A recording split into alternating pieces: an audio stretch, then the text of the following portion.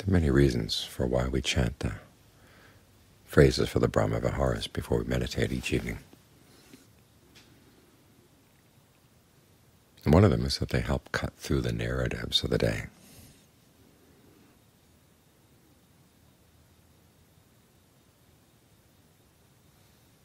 Issues you may have had with this person or that person, not just today. Sometimes the issues go way back.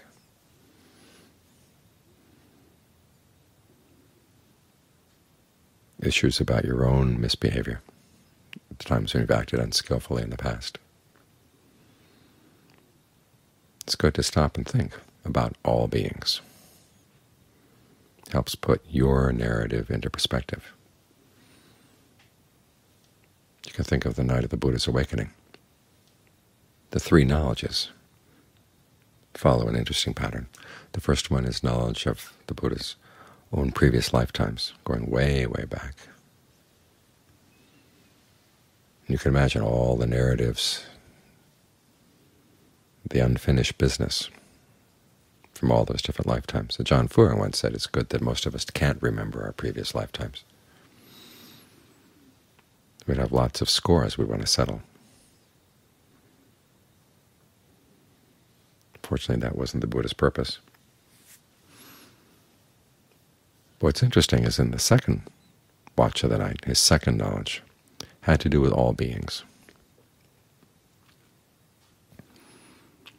How they died and were reborn in line with their karma.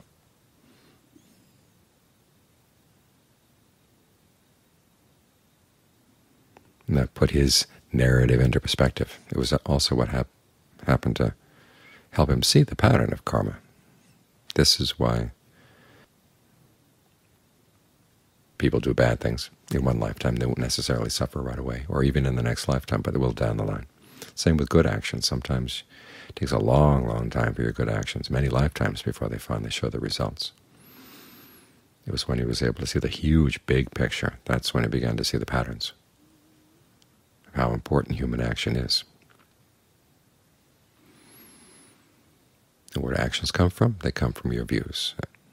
And what are her actions? They're your intentions. Where do views and intentions happen? They happen in the present moment here in the mind. You don't want to go sorting out through all your past views and intentions, but you are responsible right here. That's what led to his third knowledge, when he started looking into the sources of all these things, not in the past, not out there in space someplace, but right here in the mind. That's when he was ready to settle down and look into the mind.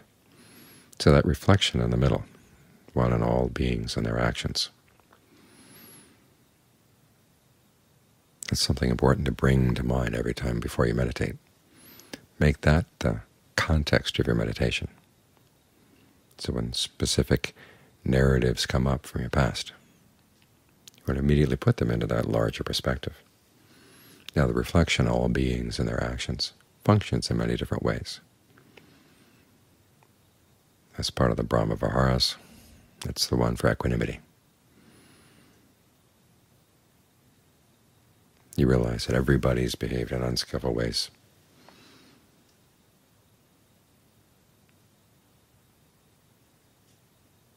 And so when you see either that you've been treated by someone else's unskillful behavior, or you've been mistreated by their unskillful behavior, or you have been unskillful in your behavior with others, it takes some of the sting away to realize you're not the only one. This is not to condone the behavior, but just to put it into perspective. And it's amazing how thinking of all the actions of all beings throughout time helps take a lot of the sting of particular narratives away.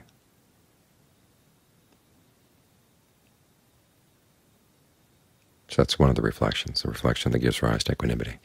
The other one about all beings and their actions is used to give rise to a sense of samvega. You realize that here we are scrambling around trying to find happiness. And as long as our happiness depends on our actions, it's not going to last, because actions don't last. If the cause isn't permanent, how can it give rise to permanent results? The image they have in the canon is of a tree that casts a shadow. Now when the tree gets cut down, the shadow has to disappear as well. You think about all beings acting on one another, and you, we all know how beings act on one another. The primary motives happen to be greed, aversion, and delusion. They come up with a lot of unskillful things. And it just keeps happening over and over again. You get somewhere good, but then you get lazy and complacent. We've seen this many times before. People suddenly find themselves in a position of power, and instead of using it for the good of the world, they suddenly have old resentments or old issues that they want to use their power for. And all that goodness gets wasted. That's not just other beings. You can probably look in your own lifetime and see times when you've gained a position of authority or a position of influence and probably didn't use it well. Or you had opportunities to speak in skillful ways and you didn't.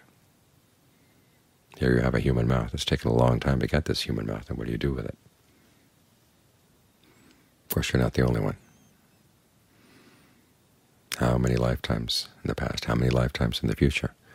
When you reflect on this, it gives rise to a sense of samvega, because you see the whole universe is this way, no matter where you go in the universe. People are still subject to the results of their actions. That reflection we often have on the I am the owner of my actions, heir to my actions. On the original Pali Sutta doesn't stop there. As the Buddha said, when you reflect on the fact that you're the owner of your actions, you he doesn't say these in precisely these words, but you get your act together. You realize, okay, I've got to be really careful. It's for giving rise to heedfulness. Too, will begin to act in skillful ways. But then the reflection goes on. It's not only me.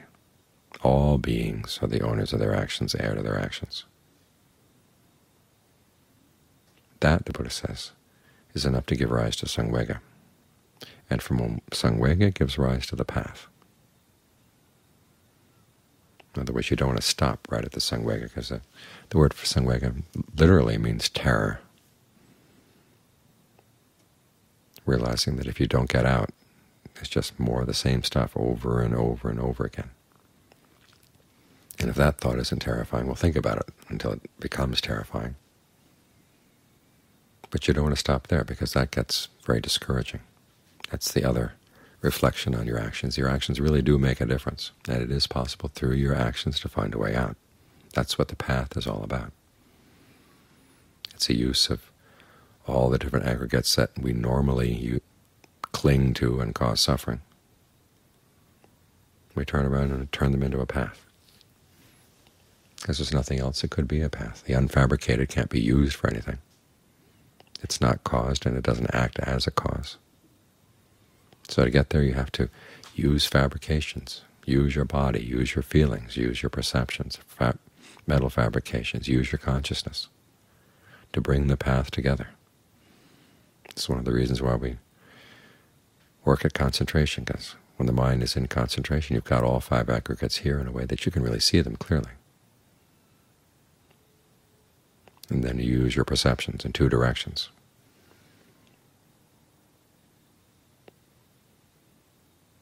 You reflect on how all the things that would pull you out of concentration are inconstant, stressful, not self.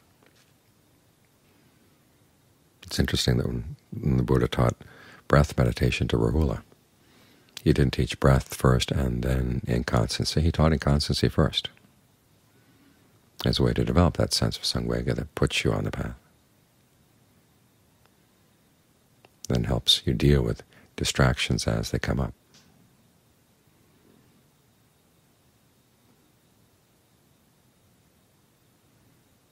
But then there are perceptions that go in the other direction, the perceptions that remind you that there is something unfabricated. It really is the most exquisite, refined, amazing happiness there is. Without those reflections, everything gets very very dry, very dark. But you keep reminding yourself that there is this ability that we have, that we can develop, to find a true happiness, a happiness that doesn't change. And for that, you take the mind when it really is solidly in concentration, and then you start applying the three perceptions of inconstancy, stress, and not self to that state of mind, that state of concentration.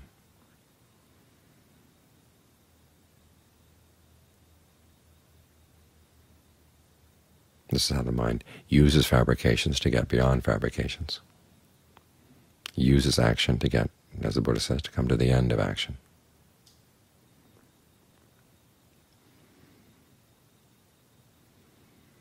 So it's important to reflect on action. The teachings on karma, one of the teachings that tends to get pushed off to the side in a lot of modern Buddhism.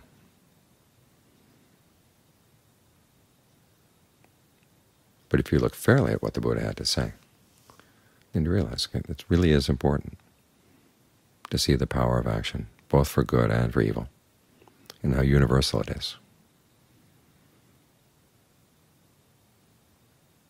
Helps you develop equanimity when you need it, towards other people's mistakes, toward your own mistakes. Helps you develop samvega, and gives you the sense of confidence. that There is a way out.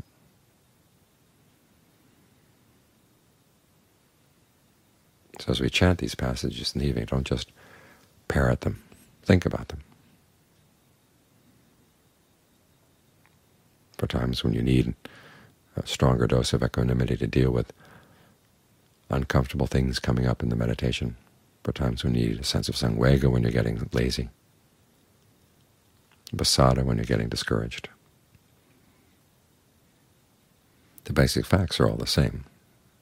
All living beings are the owners of their actions, heir to their actions. Just learn how to use those facts as you need them, when you need them.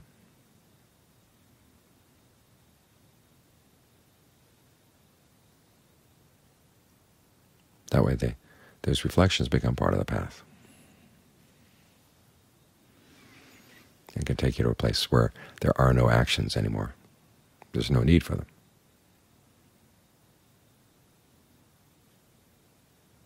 That's where it's really good.